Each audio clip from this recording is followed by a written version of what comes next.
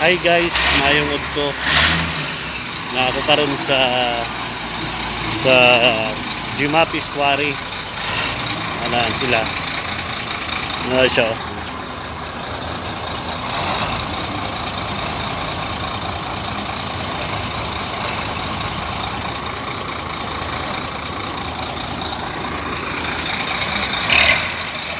Ah, si si Sargento, si Busami o ang driver sa isa ka shop na. Mali siya guys.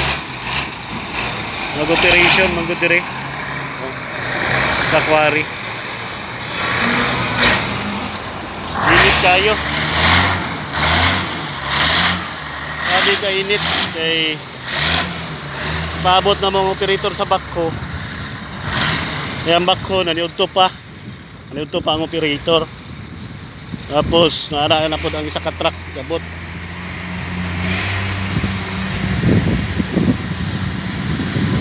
Ano siya ang quarry? Eh, Paita. Init pang panahon, wapatay kwarta, impas. Nagatod lang may krudo. Krudo para sa bakko. Ay, naabot naman ang bakko. Para oh, kita mga to guys oh. Yun siya ang bakko. Nari ang krudo. Kaya mao na siya mo fight diri. Naglisod man og load ang payloader. Tanawon pa mo sa quarry guys oh.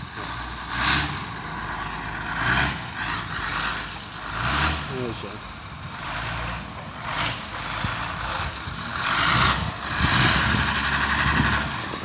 Ano siya gingog? Okay kaayo. Sana all. Taas-taas na rin siya. So maglisod na ang piloder. Maglisod na ang piloder kay gahi kayang materialis. So mid na gid siya ang bakto. Mid na gid kayo ang bakto. Hinay kay glihok ang piloder guys. So Wow ni siya. Nagpalit niyo bali 200 liters na crudo diesel. Tapos Nakitaon ta mo guys kung unsay sulod sa Shackman ha. Sulod sa Shackman na truck.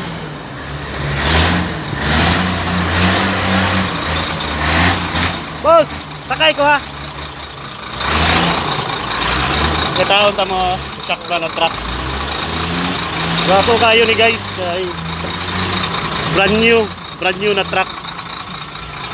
Awang sugot. Perting pagbigihan.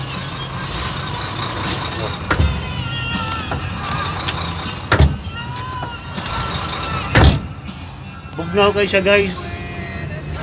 Oh, kalami. Ang kantidad di siya og 4 million. Oh. Gwapo kayo siya na truck. Brand new. Nakasilupin pa. Oh, ang driver. Na yung toothbrush. Yung sabon. Yung shampoo. Tapos tubig. VR, alcohol, alcohol. Ah, gamit niya sa likod. Apa, baldi. Na, diri na sila matulog. Pogi kayo guys. 4 million lang. No. Okay kayo. Mao ni sila nagkumbati karon Renault Construction. Ang project ani nila 17 kilometers duhali dike. Dakaw kayo na project. Punta makatabang. Pero mo na giingon sana all. Nakamas ko guys kasi alam nyo naman may virus. Hehehe. Ay kalami diri sakyan. Shock man. Nice kayo siya. Okay kayo 4 million guys, 4 million ang kantidad.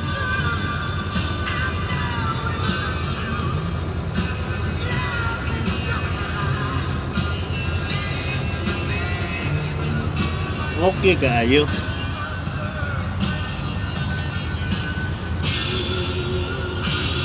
Uh, Lugnaw kayang aircon guys, grabe. Dili para sa akong truck, init kayo. Pero naguba ang unit na ako. Tagas ang steering niya. So ginatanggal pa to nila Jeffrey karon gud para ma-repair sa ma-repair sa mekaniko. Mabunuhan ang steering. Ang iyahang rod sa steering mabunuhan. Hi guys, kakapoy, ganina ra bisig balik-balik, nagalakaw, busy kayo, kay nangitag kwarta, palit og krudo. Isad-sad ni nani nga maintenance. Kailangan ka pantubil sa piloder kasi kuan ni sila ka truck guys, naghakot. Ah, unom ka dump truck, tulo ka shockman, tulo pud ka Japan. So, first time pa na ako guys na nakasakay ko ani sa Shockman. Nice kayo. 1 to 10, 10 good. Bugnaw kayo, syempre brand new. Init kay sa gawas, tambay lang sa tani, palamig. Habang nag-wait pa ni siya sa iyahang torno guys na maludan kasi kinaludan pa ang isa. So, mo ni siya. Nice kayo guys no. Init kay gud sa gawas. Dili pwede din siya maguban-uban ta ani matuto silang dumping area pero layo-layo man gud kay nasa Duhali. Ah, second trip pa ni nila. So makaya pa ni sila, makabalik pa ni sila og I think kay isa ka trip. Isa or duha ka trip kasi date tulo lang ka trip siguro. Pero kung bako na ang gamit guys, makaya na siguro ni mga 4 trips a day. Kasi paspas naman kini man good 1 hour bago siya maludan. Kasi hinay ang kuan hinay ang loader good dili kay siya kagalaw. Tapos gahi naman gud kay ang materialis. So maghisod siya og kabkab. Ah dili pareha sa back kung ah, diretso lang diretso lang siya magkalot. Nakuha dayon niya. Tapos paspas pa ang back ko guys So, karon guys, murag hapit na ah, mapuno ang isa. Murag musunod na gyud ning sunod na ni ang isa. Nana po ang isa ka truck guys, oh. Nagabot na po ang isa ka truck. Para para magsubida sila dire kasi puli-puli sila.